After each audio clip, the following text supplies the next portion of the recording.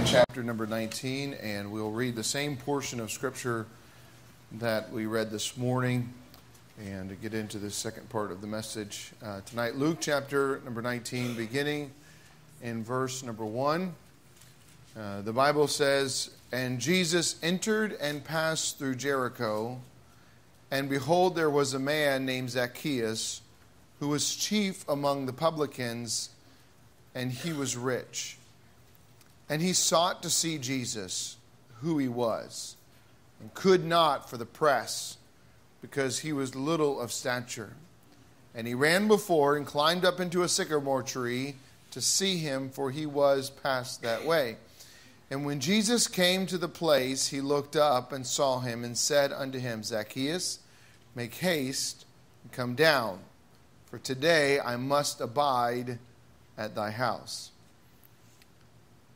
And he made haste and came down and received him joyfully. And when they saw it, they all murmured, saying, What is he uh, that he was gone to be guest with a man that is a sinner? Zacchaeus stood and said to the Lord, Behold, Lord, the half of my goods I give to the poor.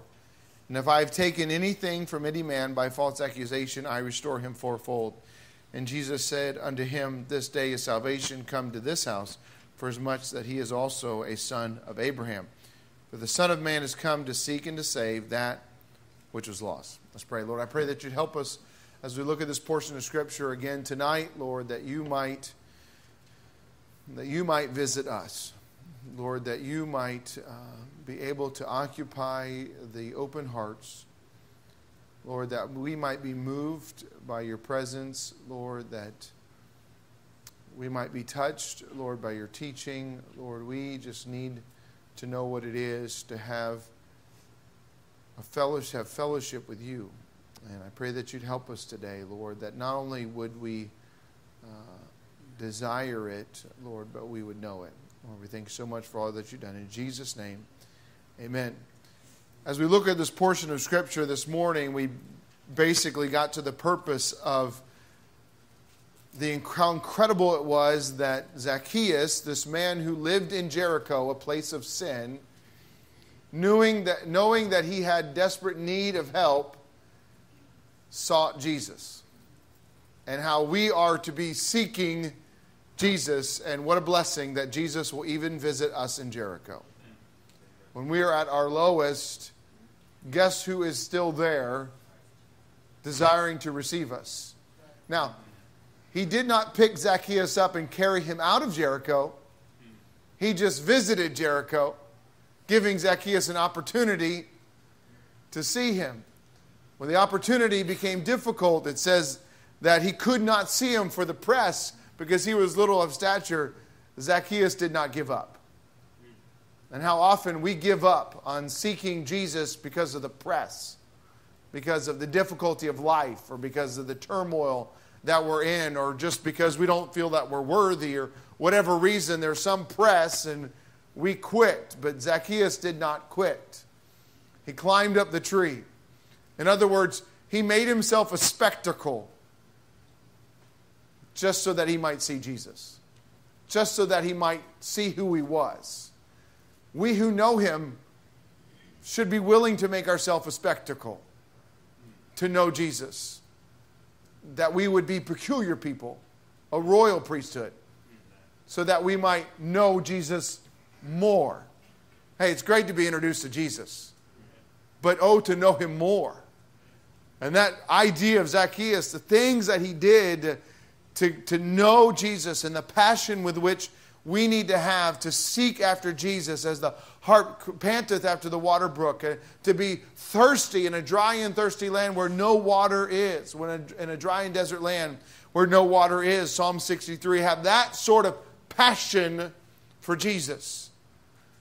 But can I tell you that a, a an emotional passion, a, a drive to the place was not all that took place here? I alluded it to the, this morning in James chapter 4, verse number 7. The Bible says, Cleanse your hands, ye sinners. Draw nigh unto me, uh, draw nigh unto God, and I will draw nigh unto thee. And we see that movement, we see that movement of Zacchaeus towards Jesus, but look at the response that Jesus gives him in verse number 5. And when Jesus came to the place, he looked up and saw him and said unto him, Zacchaeus, make haste and come down. Isn't it amazing? I go all this way for Jesus, and he tells me go a little bit further. I go all this way to see him, and he's not satisfied with just me seeing him.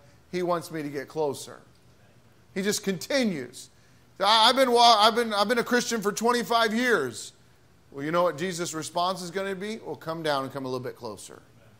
Just come a little bit closer. And so he tells him, Come down and, and come, come uh, make haste, for today I must abide at thy house. What an interesting choice of word. He does not even say, I must be a guest at thy house. I must visit thy house. He says, I must abide, dwell. Now, he makes reference today. I, I, for, for today I must abide at thy house. And here's the thing that takes place there's this passion, there's this drive. And to be honest, I think a lot of times we never get to the abiding because we never pursue the person of Jesus Christ. Psalm 63 says, I will follow hard after thee. And there's not this following hard after Jesus, it is, it is in pursuit mode. Sometimes we are following Jesus not because we are pursuing him, he just happens to be going the same way I'm going. Can I, can I just be honest with you? I, I like having a happy home. I, I, like having a good marriage. I, I like having uh, obedient children. I, like having uh, fellowship with, with believers. I, I like having fun that is not filled with sin. I like all that stuff. And, and I, I don't really want to abandon that. But can I tell you this? The fact that I participate in a lot of good things does not necessarily mean that Christ is abiding with me. Sometimes it's just that's the way I'm going. That's the way that's my culture. That's what I've been taught. That's that's where I'm headed. And Jesus but you know what Jesus will do? We learned this as we went through Ecclesiastes. Sometimes he'll make your way crooked. The Bible said. It says, marvel at the work of the Lord, for he's made your way crooked. See, I, am enjoying all the good things, and as long as you keep going my way, God, then I'll go your way. But when you make my way crooked, mm, I don't know if I want to continue in that. And, we have to question ourselves Am I pursuing Jesus or am I just inviting Jesus along my path? Zacchaeus has this pursuit of Jesus because he knew he was in desperate need of him. And I will continue to pursue Jesus as long as I'm in desperate need of him. And so here we have this condition Zacchaeus pursues Jesus. When you pursue Jesus, Jesus will always find you. Isn't it interesting that Jesus looked up? You say, what, don't I find Jesus? You just pursue Jesus, and he'll find you. He will find you. And Zacchaeus is pursuing Jesus, and Jesus walks. Do you think Jesus was startled by his presence? An acorn fell. Well, that's a sycamore tree. I don't know what sycamores do. A sycamore nut fell down. Whatever that is. And let, no, no, he knew exactly where he was. As I mentioned this morning, it was the first right thing that Zacchaeus had done. And Jesus noticed it. And so when he gets to that spot, he looks up at him and he says, Come down. Come down, for I today I'm going to abide at your house. Now we we don't get all the things that happened in the house. Now it does not appear that he stopped in and just said, Hey, thanks for the coffee. I'm out of here. He, he abided there. Obviously, some things took place. The presence of Christ was in his home, and that presence, though it was scoffed at by the others, produced a marvelous change in the life of Zacchaeus. In fact, it completely changed his personality what would you consider the personality of a publican or his traits? Benevolence? Kindness? No. Greed. That was how they made their money. He implied that of those that he had stolen from. Selfishness. But when Jesus was abiding with him, it changed his nature, it changed his person. So we have to put these two things together. We talked about this morning the necessity that we need to have for continuing to pursue the person of Jesus, not on a yearly basis, but on a moment by moment basis, a passion for the person of Jesus. And I must seek after Jesus. But in response to that, Christ's response is not to become someone that you are acquainted with. He doesn't want to become an acquaintance with you. He wants to abide with you. And this continual abiding is necessary to keep the fellowship that we're supposed to have, to keep our steps of obedience not only going the right way, but having with those steps the proper motive so that I can receive the reward for them in heaven. I need not only to Him to direct my way, I need to have His presence pursuing the person of Jesus and the abiding that needs to take place. In this abiding, it tells us this, as he says in verse number five I must abide at that house. And he made haste and came down and received him joyfully. We are, um, let me make sure I say this properly. It appears so often, and maybe I just maybe I've seen evidence of this, of this in my life, and certainly in American Christianity. We appear very much to be a Laodicean type atmosphere here in America. Now, no doubt you can go to some other parts of the world and some underground church in China or in India or someplace like that, and they're going to say, What? We don't have that same attitude towards Christ. But we have seen it much in America. And there in Revelation 3, when it talks about that Laodicean church, it pictures Christ standing outside the door. If any man in essence, will receive me. I will come into him, and I will sup with him, and he with me. And there's obviously something else that we are passionate about that we could overlook the knocking. Or maybe it's this, as um, can't remember, I, I, was reading a book, read lots of books. I was reading a book, and the, this pastor was meeting with somebody, and they were talking about their youth group, and they said this they said, Listen, listen, all we want you to do is mix in a little Jesus every once in a while.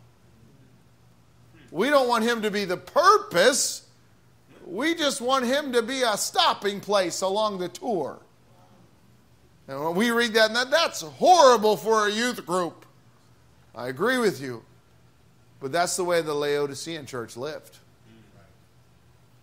And sometimes in our own life, He's just he's part of the he's part of the scenery, but he's not the purpose of my life.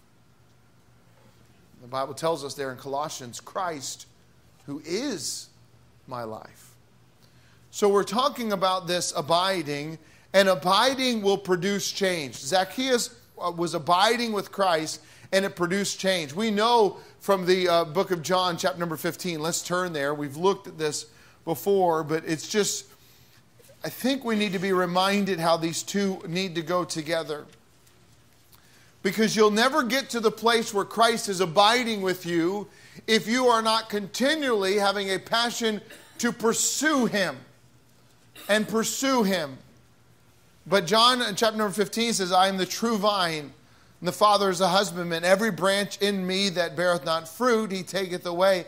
And every branch that beareth fruit, He purgeth, and that it may bring forth more fruit. Now ye are clean through the word which I have spoken unto you. Abide in me, and I in you. As branches cannot bear fruit of itself except it abide in the vine, no more can ye except ye abide in me. Life, spiritual life, continues by abiding in the person of Christ.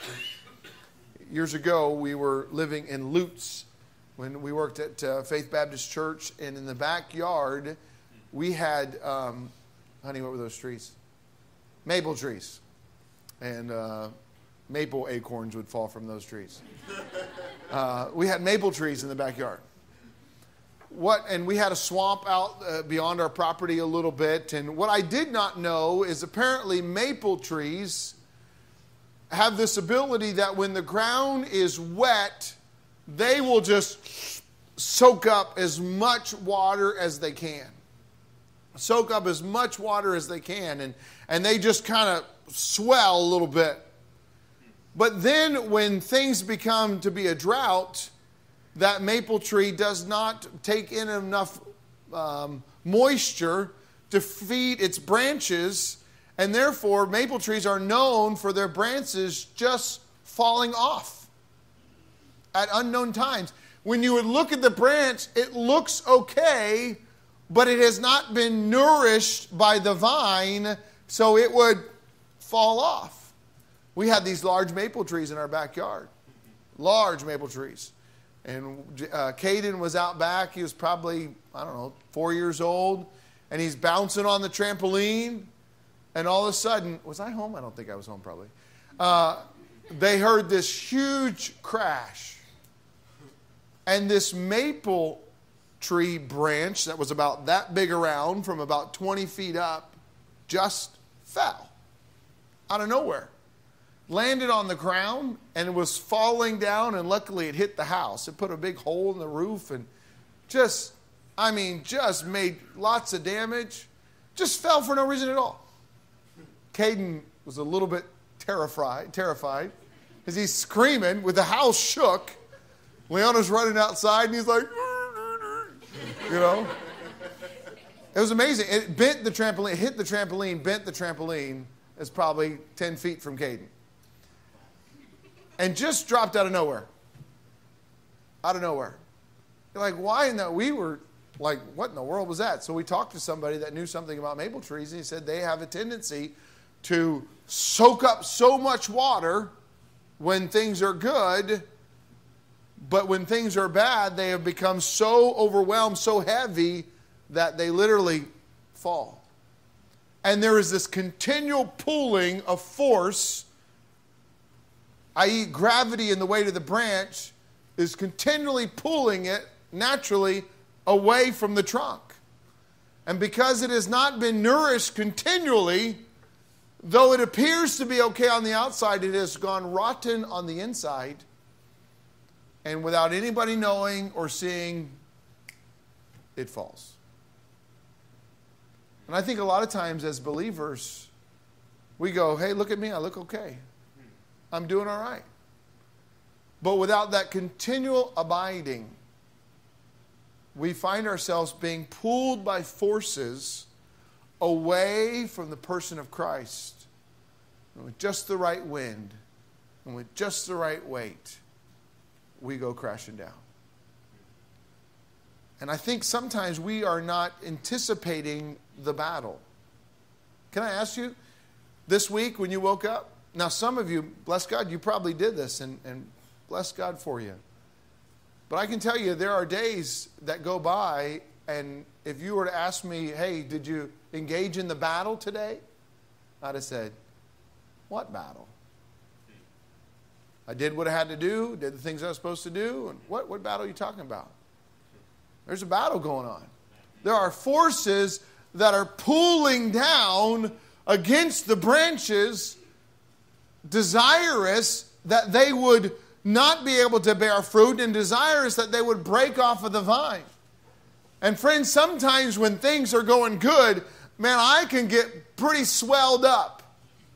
Not just physically, but I can get pretty swelled up on the blessings of God and the, and the good things. And I walk around and, man, isn't life good? And bless God, man, everything's awesome. But what about when the drought comes? What about in the drought? The only thing that will keep that branch healthy is if it continually is fed by the vine.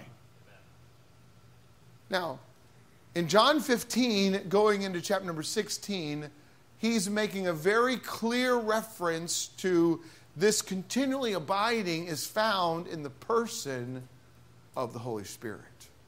That's where it's found. He says, I must needs leave you, but I will send another, and he will guide you into all truth. And he is called the Comforter.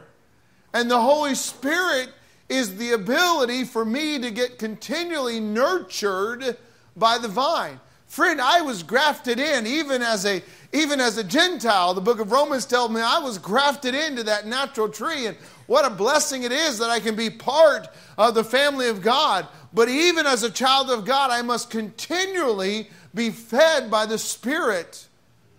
And it is this desire to have the presence of Christ and abiding with Christ that's going to be able to produce in me the kind of change that's going to bring glory to Christ. And that's what He expects in my life change that brings glory to Christ. So it reminds me if we go back to Luke chapter number 11. I preached on this passage when we were going through the book of Luke on chapter number 11, and I tell you, I cannot get it out of my head. Because this goes along with the passion that Zacchaeus displayed to see the person of Christ.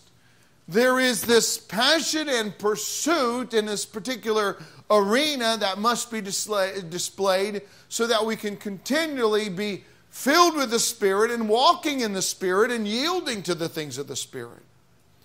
In Luke chapter number 11, beginning in verse number 6, the Bible says this For a friend of mine, oh, let's start in verse number 5. And he say unto them, Which of you shall have a friend and shall go unto him at midnight and say unto him, Friend, Lend me three loaves.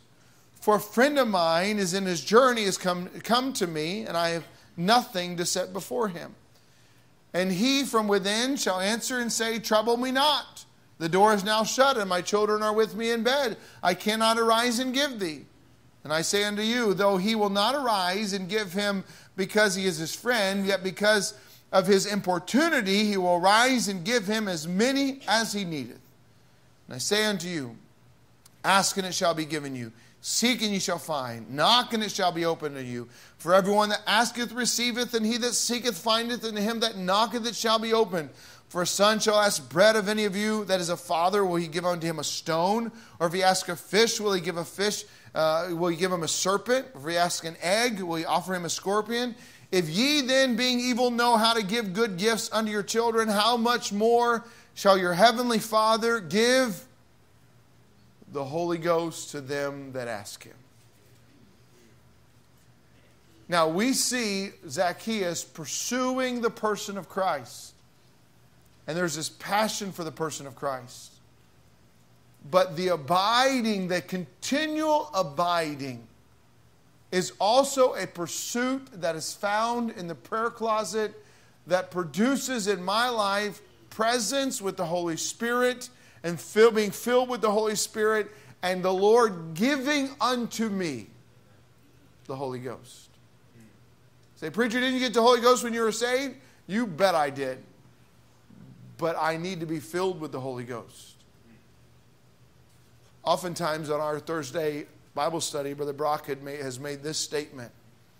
He said, I think as Christians we have forgotten the ministry of the Holy Ghost. And I agree with that. And I would say this I think as Christians, we've forgotten what it is to ask for the ministry of the Holy Ghost. It is biblical in Acts chapter number 2. Before the day of Pentecost, what did they do? They continued in prayer steadfastly. And they received the Holy Ghost. Then Peter stands up and preaches on the day of Pentecost. We see it in the New Testament over and over again. They continued in prayer.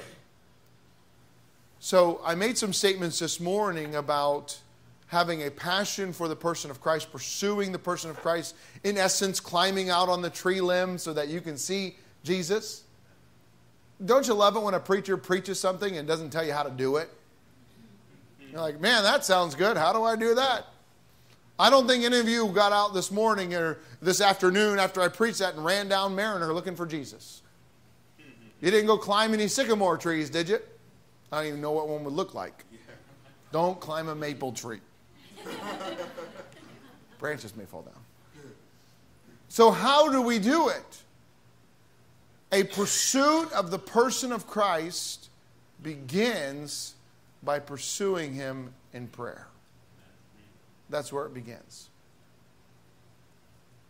And this kind of prayer, as we have mentioned in Luke chapter number 18, this kind of prayer is not a casual prayer. This kind of prayer is not a ritualistic prayer. This kind of prayer is not a repetitive prayer by vain repetition of some model prayer. This prayer is a prayer that says, Lord, I will pursue you and I will seek you until you are found. Until you're found. Now, lest I be accused of some false doctrine, let me just clear something up. Years ago, there was a false doctrine, I believe it's a false doctrine, uh, as I would see it, of this idea of praying through. Anybody ever heard of praying through?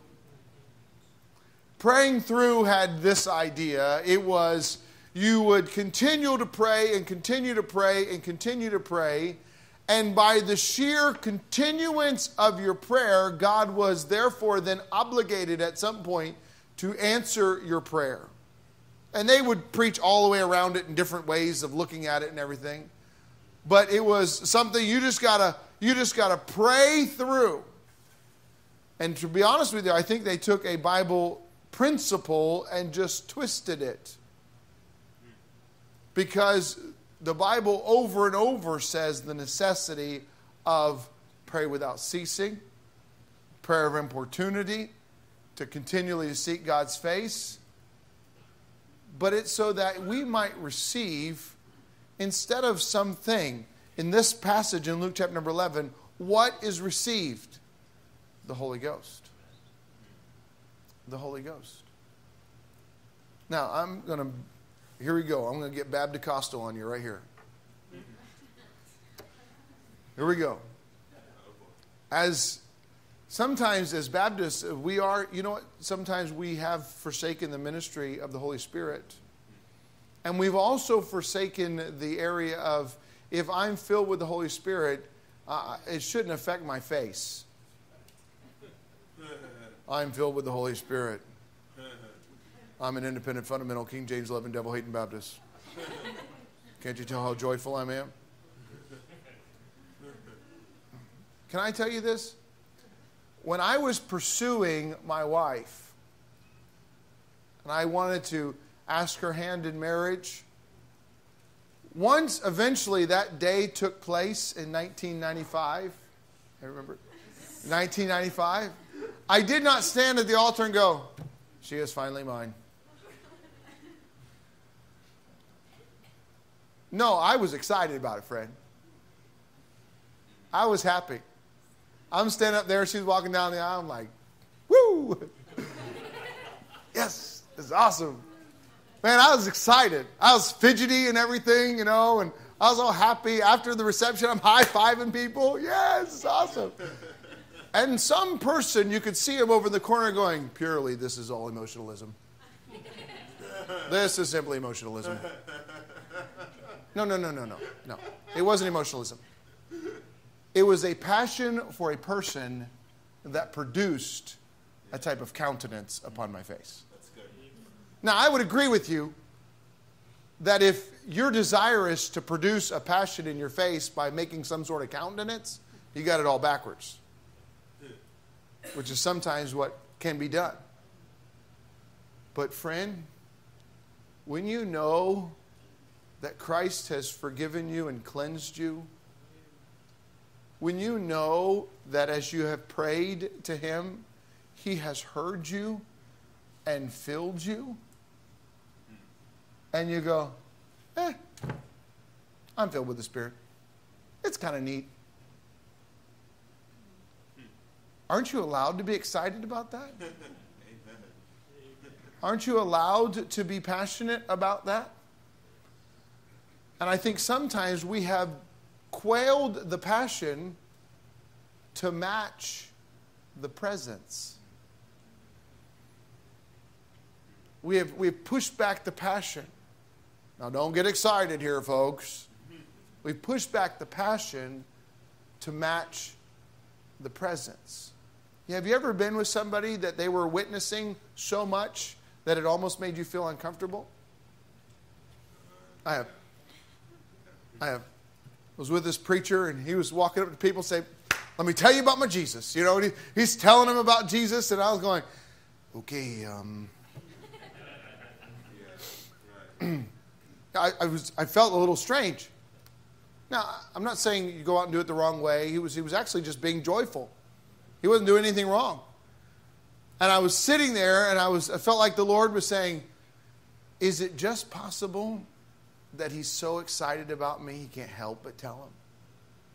Is it just possible that because he spent such time with me and he's had the cleansing of my forgiving blood, and because he knows he's filled with the Spirit, he can't help but release the fire that's in his bones? And maybe your lack of passion is just being honest with the condition of your presence. So, how do I gain that passion? Well, if you want to gain, gain passion for the person of Christ, you must spend time with the person of Christ. There must be some abiding. And how does that begin? It begins by those of us that are lower. Friend, we are lower than the person of Christ. Humbling ourselves, abasing ourselves on our knees before God and saying, Christ, Lord, I need you. I need you. I want to abide with you. I want you to abide with me. I want to know your presence. See, preacher, how do you know you have that kind of presence? Well, can I tell you how Zacchaeus knew? It changed his nature. You guys ever struggle with anything that is just who you are? You know? You struggle with grumpiness because that's just who you are. You struggle with anger because that's just who you are. You struggle with uh, uh, unkindness or lack of caring or hurtful sarcasm because that's just who you are. But is that who Jesus is? No, it's not who Jesus is. I know I'm supposed to do better, blah, blah, blah. Yeah, I, but you know you spent time with Jesus when he changes who you are. My wife can attest to this that one of the areas that the Lord has given me victory over because I've spent time being convicted and praying about this was I was so competitive, angry competitive. I remember getting to a, an altercation with my boss, who was the pastor of the church, because I didn't like the call he made in a volleyball game. Right there in front of everybody. So angry. I remember the time I got so angry at the softball field and threw my glove, and all these people are watching, saved and unsaved in the whole world. And one of the youth group members came up to me and says, Now, when you talk to us about keeping our temper, is that what you're talking about? Luckily, there was a fence between us. I mean, just, mm. And through some of those things, the Lord convicted me, said, That's not who I am. My first response is, Yeah, but that's who I am well, then who you want to be like. And after some time in prayer and just saying, God, please, I need you. I need you. Can I tell you, by God's grace, He's given me victory. Amen. Now, I love playing competition against competitive people. Just to see them melt is the most wonderful thing in the world. I used to be like you. It's just amazing. Now, that's one area of victory, but I mean, if you would ask people how much I've changed in that area, I'm telling you it's because of the person of Christ. And still changing. Oh, it's over here making fun of me. I need to abide in Christ so that he can make me into who he is. These verses that have just been penetrating my heart recently, you know, let nothing be done through strife or vainglory, but let each esteem other better than himself. And how do you do that? Christ abiding in you. If there be therefore any consolation in Christ. And think about the verse rejoice in the Lord always. How do you do that? Abiding in Christ. Be anxious for nothing. Man, how's that possible? Abiding in Christ. So, when the standard is to be like the person of Christ, the Bible tells us in the book of James that he is our example, then man, how much I need him. But my passion can only be measured by my time spent in prayer and my effort spent in prayer, asking for the filling of the Holy Spirit and the presence of God in my life, and surrendering all the things that He brings up. Surrendering all the things that He brings up. You know why young people don't normally ask this question? I've never had Jackson ask this question. Hey, Dad, could you tell me some things that I could work on? You know why probably he doesn't ask that question? I have a list. If he asked me that question, I would have some things that I could tell him. That's part of the problem with our prayer life. We never spend the time letting God speak to us about those things that He has to clean out and clean away and truly wanting to be like Him. So there's never any abiding that takes place and it doesn't produce change, and we just continue on this circle of mediocrity of not really having a life that is sold out for Christ. But we don't want to be sold out for the world either. We know that's wrong. And there's not a passion for the person of Christ, and he does not, he is not our life. Zacchaeus, when he abided with Christ, it changed him. It changed him. And I wonder if there's just a lack of pursuit in prayer for the person of Christ. A lack of pursuit by saying, Christ, dear Lord, I need you. And I will continue to continue to ask you to help show me what I need to get rid of in my life, to clean things out of my life so that I can be an empty vessel that'll be used for you. Because sometimes you need to go back again to get cleaned again. My wife, she's amazing how she can clean things. But she'll go into the kitchen, there'll be a pot with stuff on it. Man, it's just grime on it. And I'll go in there and I'll go and look at that, take a rag. That's not coming off. Flavor for next time. yeah. And I'm like, she's like, you got to get that clean. I'm like, I tried. It doesn't come clean. How do we do it? She says, keep scrubbing. Keep scrubbing. Let it soak and keep scrubbing. You mean you want it all to be gone? Yes. You know what eventually happens when, when she cleans the dishes? It's all gone. It's amazing. And sometimes, as believers, we don't spend enough time in prayer so that the, lo- the, that the Lord can spend any time scrubbing. He comes in, he does a little scrubbing. That's enough. That's enough. No more. And the Lord said, Listen, I want to clean you. I want to have a clean vessel to dwell in. So why don't you come spend some time with me? Let me clean you. Let me bring up some things in your heart and mind that perhaps you have forgotten that are there, but it's stopping us from having the kind of fellowship we're supposed to have. Zacchaeus was changed not just because he saw Christ, but Christ abided with him. I wonder if part of the problems in our homes is we spend lots of times we spend lots of time pointing out Christ to our children. Oh, look, there he is. Did you see him? There he is. Did you hear that message? There he is. Did you see that person? There he is. We spend a lot of time pointing Jesus out and not near enough time abiding with him and spending time in prayer and letting our kids and our wife and ourselves see what it is to pursue the person of God through the presence of the Holy Spirit. Can I ask you, are you abiding in Christ? Is He changing you?